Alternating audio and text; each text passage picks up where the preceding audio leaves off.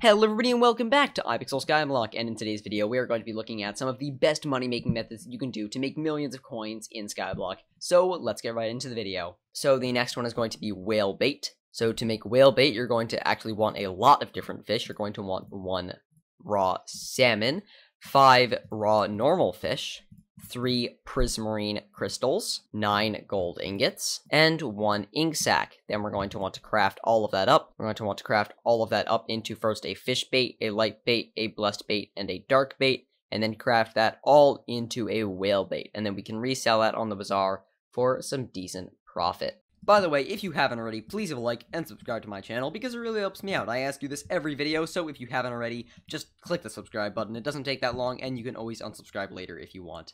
So let's get on with the video. So the next craft flip we're going to be talking about today is going to be the Enchanted Glistering Melon. So for this one, you're going to want to go over to the bazaar, click into the farming category, then click into melons, then you're going to want to buy melons times 256. So get 256 melons, purchase them. Then you'll see we can go back out and go buy 228 gold ingots. So 228 gold ingots, and we'll buy those. Then you're going to want to trap that up into an enchanted glistering melon, but to do that you need to make glistering melons, so let's check the recipe for that one. So for glistering melons, you're going to want to turn all of this gold into gold nuggets and then craft them together with melons. So let's do that really quickly. So we'll craft all of this into nuggets form. Put that all like that. Now we just need to make a lot of these golden glistering melons. So let's craft all of those really quickly. So while we're doing that, by the way, if you haven't already, please subscribe to my channel because it really helps me out. And we should be almost done crafting all of these. And then once we're done, we craft them into an enchanted glistering melon just by putting them all into our crafting bench like that. And then we'll buy it and then we can resell it off back to the bazaar for a little bit of profit. So let's move on to the next flip, which is going to be Enchanted Wet Sponge.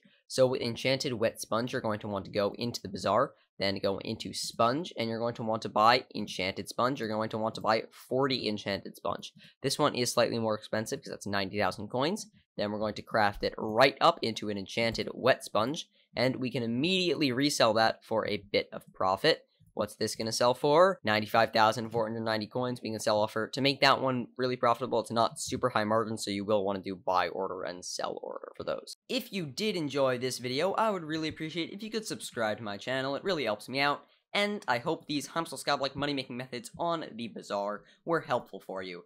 Please subscribe and let me know how many profits you made down in the comments below.